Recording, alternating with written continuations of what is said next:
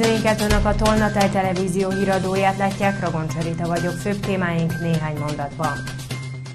Lovas Fórum, külhoni vendégek érkeztek Szexárdra. Partner találkozó, megköszönték a vállalkozók munkáját. Elkészültek a karácsonyi csomagok Szexárdon, a 65 évnél idősebbek jogosultak az ajándékokra. Úszóverseny Bonyhádon diákolimpia selejtezőt rendeztek.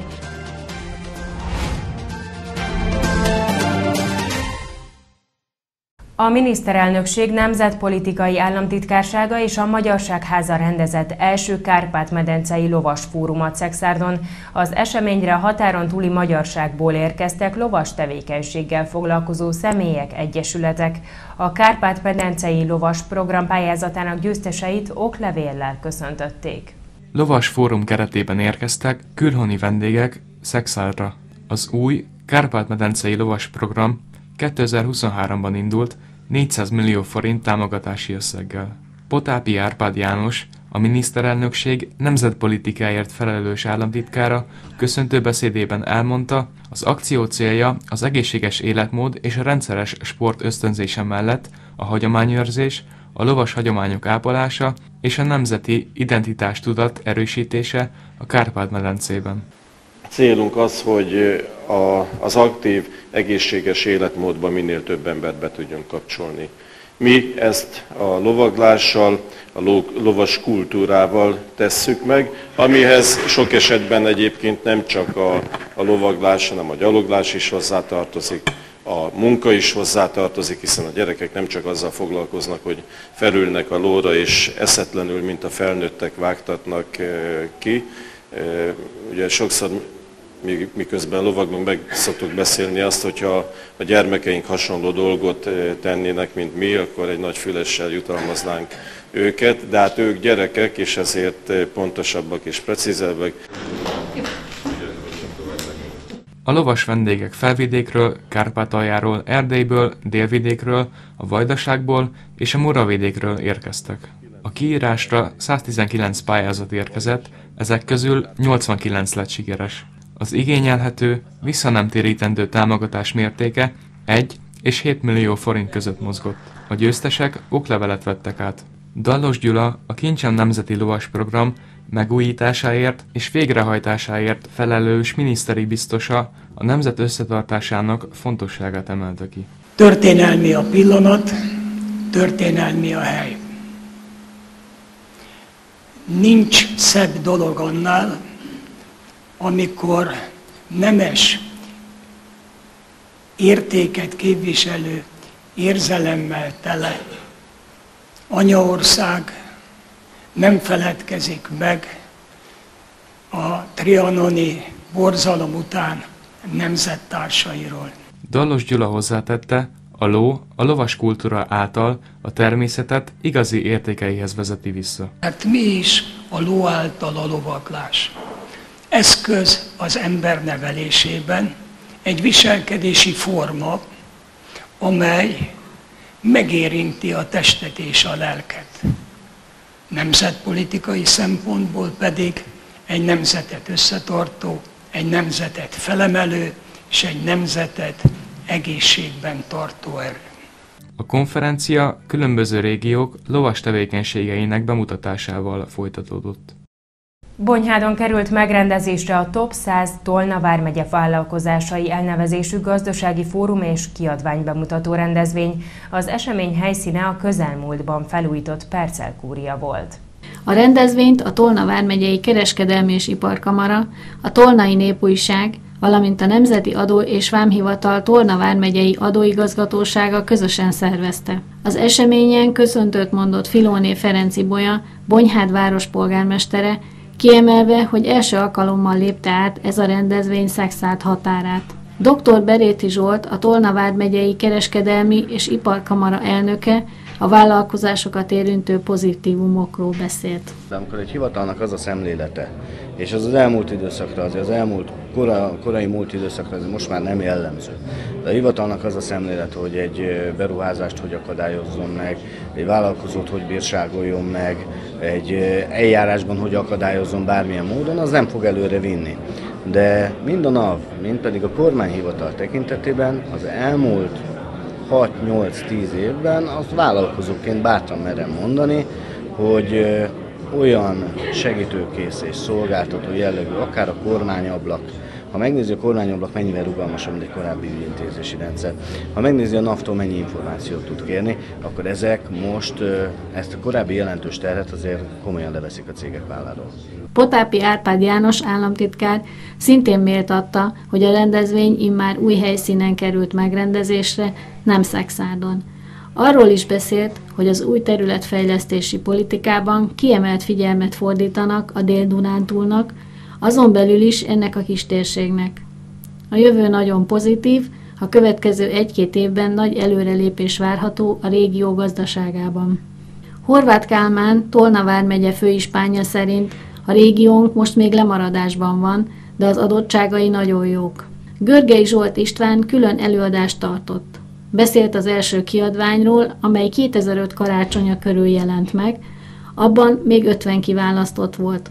Ez a mostani kiadvány már a 18 Hangsúlyozta, hogy a paksi és a szexárdi járása meghatározó a megyében jelenleg. Úgy gondolom, hogy az elmúlt években ami nagyon változott, az a digitalizáció, tehát a vállalkozások működésében, de az adóhivatal működését nézzük ott, és a digitalizáció az, ami alapvetően átrendezte az információáramlást és a gazdaság működését is, és ahogy előre tekintünk, szerintem ez lesz a tovább folytatódik, és hát a mesterséges intelligenciát emlegeti mindenki, szerintem ennek mind nagy jelentőség lesz minden vállalkozás életében. Az eseményen résztvevők meghallgathatták a Mi Újság Paks 2 című előadást német Szabolcs Paks 2 ZRT média kapcsolatok osztályvezetőjétől, amelyben arról számolnak be, hol tartanak jelenleg a kivitelezési munkák. Percelnapot tartott a Tolna Vármegyei Szakképzési Centrum Percelmor Technikum és Kollégium. A tanítás nélküli munkanapon osztályéneklési versenyt rendeztek a Művelődési Ház színház termében, ahol örökzöld magyar népdalok mellett változatos mai slágereket énekeltek a diákok.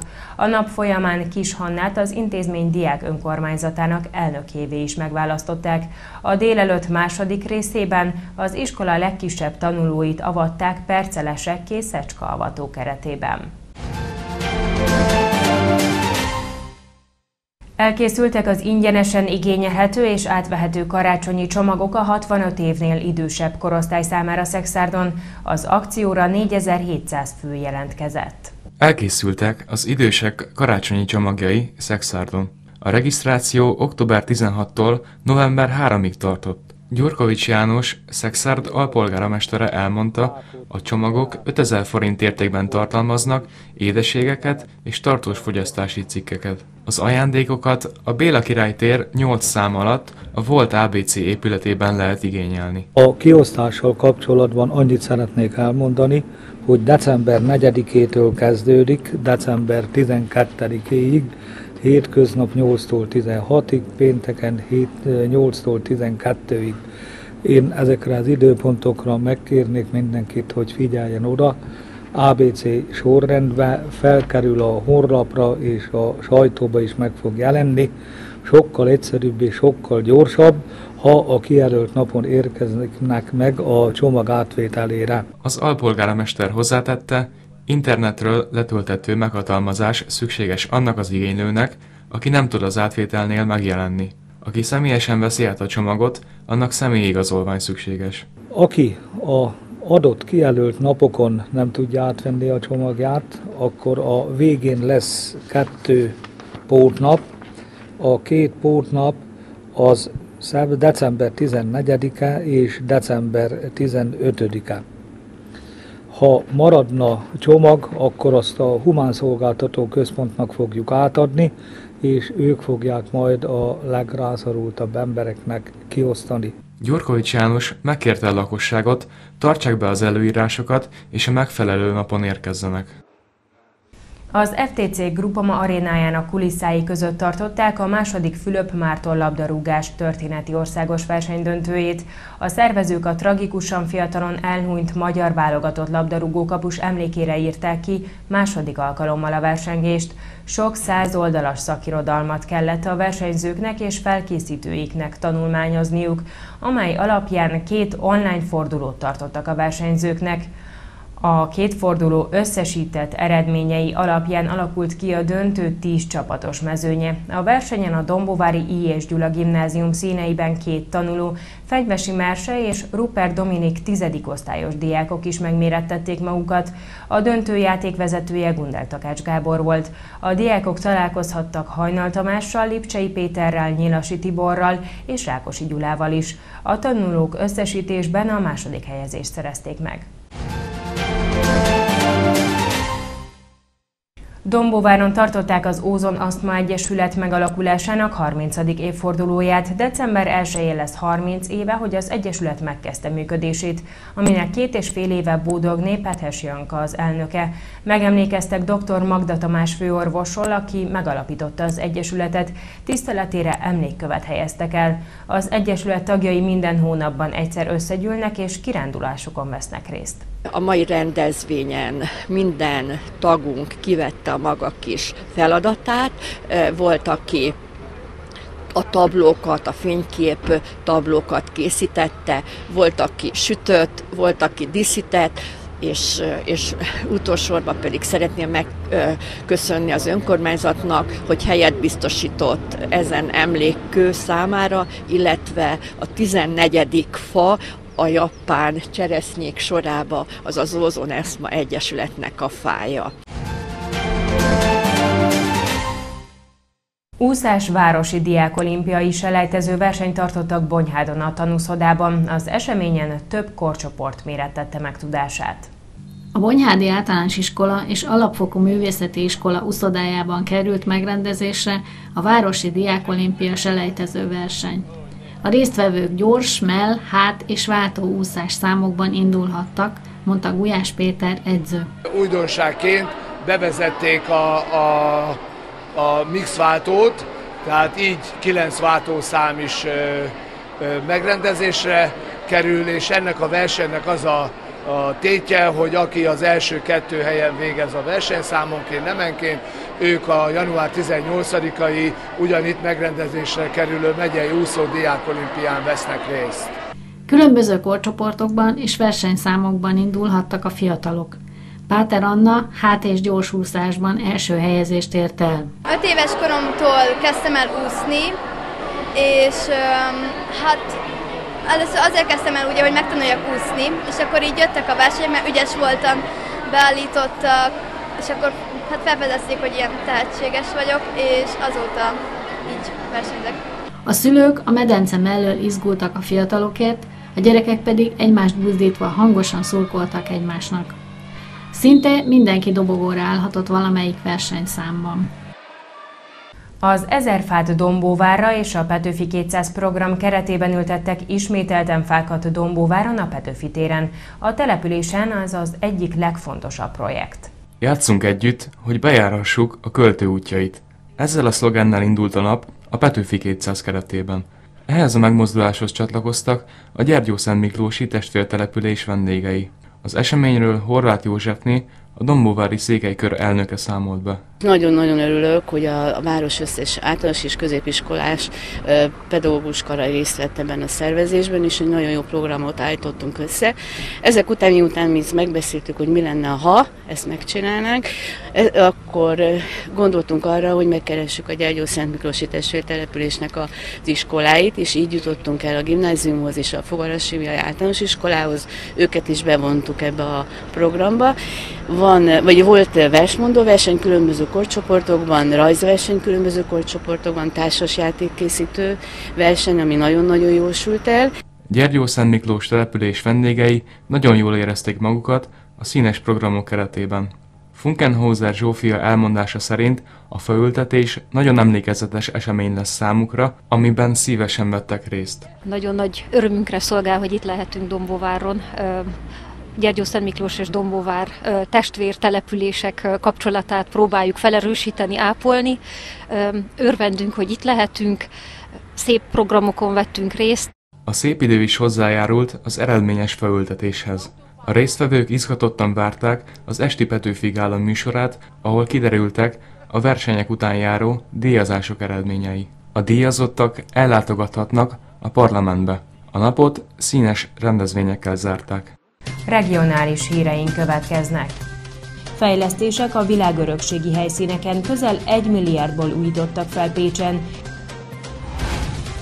Téli látnivalók, népszerű a gömbkilátó és a szaploncai sétány.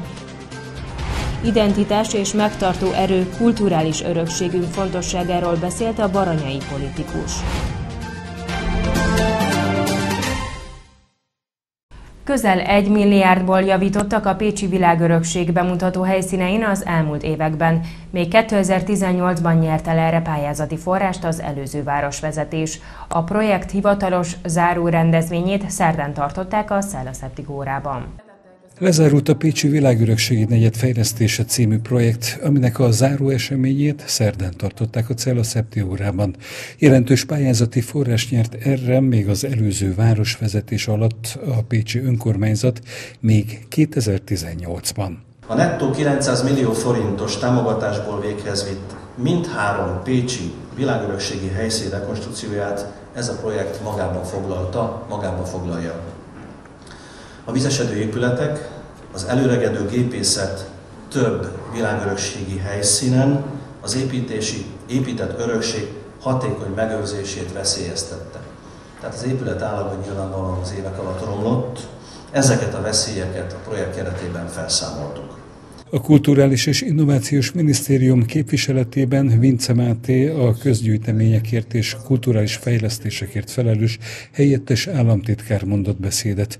Kiemelte, hogy mennyire gazdag örökség határozza meg az itt élőket, ez pedig a siker alapja lehet. Mennyire szerencsés Pécs, hiszen ahogy itt láthatjuk a eltérő falakban is, hogy van egy magyar identitása, egy Kárpát-medence identitása, egy ókeresztény, egy, egy római, egy európai identitása, tehát szinte azzal a problémával szembesül, amire az angol azt mondja, az angol közmondás, hogy it's a good problem to have, jó probléma ezzel szembesülni, hogy ez a sok identitás, ez mind-mind egymást építi és egymást erősíti, és azt gondolom, hogy azért lehetett ilyen sikeres ez a projekt megvalósítása is, a felújításon túl a projekt fontos eleme a mindhárom helyszínt érintő komplex kiállítás és multimédia fejlesztés, amely a látogatók részére modern múzeumpedagógiai eszközök, 3D-s filmek, animációk, VR szemüveges bemutatókat is jelent. Az Európai Uniós beruházásnak köszönhetően restaurált állapotban látható a Korsó sírkamra, a Cella Septióra és a 3-as, az 5-ös, a 19-es és 20-as számú számú temetőépületek. Ezeken a helyszíneken festő és kőrestaurátori munkákat végeztek a szakemberek. Megújultak a látogató központ légtechnikai berendezései, ezzel együtt a festett sírkamrák egyenletes hőmérséklete és páratartalma is biztosítottá vált. Télen is kínál kikapcsolódást a Balaton, a déli part több olyan látnivalóval bír, amelyekről pazar panoráma tárul a kirándulók elé. A Boglári gömb kilátó és a Fonyódi szaploncai sétány is népszerű a turisták és a fotósok körében. Tavaly 138 ezeren váltottak jegyet a Balaton-Boglári gömb kilátóba, amely az adatok szerint idén is hasonlóan népszerű. Itt a Balaton nagyon jól látható ebből a pozícióból, hogy a Boglár az ugye a súlypontjába helyezkedik el a tónak, és ugye a keleti-nyugati irányba is nagyon szép a kilátás, hogy az északi partra a hegyeket nagyon szépen látjuk, úgyhogy nyáron itt folyamatos a, a sor, és hát ennek köszönhetően 2020-ban meg is nyerte az év kilátója címet, amire hát ugye nagyon büszkék is vagyunk. Idén nyáron egy új látnivalóval bővült a Boglári várdomb, amely a gömbkilátótól egy palló ösvényen is megközelíthető. A lomb korona sétány hamar népszerűvé vált a kirándulók körében. A gömbkilátó kiegészítéseként készült egy lombkorona ösvény, ami a domnak a keleti felén húzódik. Ezt úgy helyeztük el, hogy aki feljön ide, az ne zavarja a domnak a nagyon szép természeti látványát, tehát ez egy ilyen rejtett elrendezést kapott, és hát nagyon ügyeltünk arra, hogy a, a fák között kanyarogva vezessük, tehát gyakorlatilag szinte egy-egy fát kellett kivágnunk, az volt a tervezésnek egy fontos szempontja, hogy ténylegesen lombok között láthatóan menjünk föl, és egy különleges élményt adjon. És hogy elindulunk ezen a lombkorona sétányon, akkor eleinte egy ilyen zártabb, erdős részen vezet, és hogy haladunk a Balaton felé, akkor szépen így felsejlik a háttérbe a Balatonnak ez a szép kékes, türkizes látvány, úgyhogy ez egy tényleg egy nagyon ö, fotózásra inspiráló látvány. A fotósok másik kedvelt dél-balatoni helyszíne a Fonyódi Szaploncai sétány. Keszthelytől Tihanyig erről a sétányról el lehet látni, és az egész északi hegyvonulat gyönyörűen látszódik, és ahogy most is itt vagyunk, minden pillanatban változik a, a túloldal, tehát ahogy a napsütés van, ahogy a felhők jönnek, tehát minden pillanatban másféle fényképet, felvételt lehet készíteni, úgyhogy ez páratlan itt ezen a vidéken. Szaploncai Manó nem csak Somogy vármegye tiszti főorvosa volt, hanem a Balaton szerelmese is. Az ő nevéhez fűződik a Fonyódi fürdőtelep megalapítása a 19. század utolsó éveiben. A sétány és az ott található villasor helytörténeti szempontból is fontos, mondta Varga István helytörténész. Egyébként most van 130 esztendeje annak, hogy 1893 késő őszén Szaploncai Manó megszervezte azt a találkozót, ami először Lengyel Tótiba volt, és utána kijöttek ide a barátaival, az ismerőseivel, akik már előzetesen jelezték azt a szándékukat, hogy itt szeretnének egy villatelket vásárolni, és eljöttek ide Grózicsi Bélának a jószág igazgatójával, hogy fölmérjék, hogy a Várhegynek melyik az a része, ahol ki lehet parcellázni a telkeket, és akkor így 1893 őszén ebben megegyeztek, és 1894 tavaszán, nyarán már a konkrét szerződéseket kötötték meg, és elkezdték kialakítani a 484 szögöles telkeket, és el is kezdődtek a villa építkezések. A szaploncai Manóról elnevezett sétány idén-nyáron teljesen megújult, padokkal, pihenőhelyekkel bővült, és egy kávézót is kialakítottak. Vállalnunk kell identitásunkat, különben leszakad Európa a globális versenyben. Erről beszélt stábunknak a baranyai politikus a Szellaszeptik órában. Hoppál Péter szerint magához kell téríteni földrészünket, tudatosítani a döntéshozókkal, hogy azok az erősek, akik vállalják kulturális múltjukat, identitásukat. Ezért is fontos a Pécsi világörökségi helyszínek megóvása. A Pécsi Világörökségi Helyszínek Fejlesztésének záró projektjén jelen volt Hoppál Péter kormánybiztos is. A politikus a kulturális értékek identitás teremtő szerepét emelte ki, amit ma Európában igyekeznek elfelejteni. Ez egy olyan megrázó kincs, olyan örökség, ami figyelmeztet bennünket, a mai koremberét, hogy itt Pécset, innen Pécsről mi fel tudjuk mutatni, hogy olyan értékek birtokosai vagyunk, amiket elfeled Európa olyan értékeké, amik berendezték Európát, olyan kincseké, amelyek meghatározták, hogy azok vagyunk akik. Ez pedig olyan folyamatokra is kihat, ami tetten érhető földrészünk gazdasági teljesítményében is. Ma, amikor a, a világ nagy uh, GDP versenyében uh, a tíz legerősebb gazdaságú ország között most már csak egyetlen ország marad majd, amelyik európai ország. És korábban hat ország is európai volt a tízből. Ez is demonstrálja és mutatja, hogy azok a társadalmak, akik az identitásukat fontosnak tekintik, komolyan veszik, nem dobják el, eh, azok, azok a társadalmak, azok az erősek. Ezt az erősödést látni Ázsiában, vagy éppen az amerikaiaknál, de más országok, régiók szintén zárkóznak fel, mert felvállalják identitásukat. Erre figyelnünk kell, mondja a politikus. Fontos figyelmeztetés mindannyiunk számára, mert ez identitását megtagadja. Mert mindaz, ami miatt Európa Európa, azt ma nem tartja fontosnak. Elkeni. Azt mondja, hogy ez a zsidó-keresztény kultúrkör, ez valamilyen múzeumokban jó helyen van, itt len a föld alatt, látogató központban. Tök jó, de nehogy már ez értékként is meghatározza az én hétköznapjaimat. Amíg Európa vezetői így gondolkodnak, addig halára ítérik Európát. Addig csúszik lefelé Európa, addig csak a lejtmenet lesz. Ezért kell innen is a Pécsi ókeresztény emlékek közül kiáltani, hogy Európa ébredjen, térjen magához, különben végleg leszakad, mondja a kormánybiztos.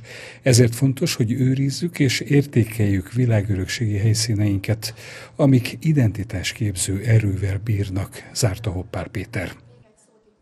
Végül mutatjuk Tolna vármegye legfontosabb híreit még egyszer röviden. Lovas Fórum külhoni vendégek érkeztek Szexárdra, partner találkozó megköszönték a vállalkozók munkáját. Elkészültek a karácsonyi csomagok Szexárdon, a 65 évnél idősebbek jogosultak az ajándékokra. Úszóverseny Bonyhádon diákolimpia selejtezőt rendeztek,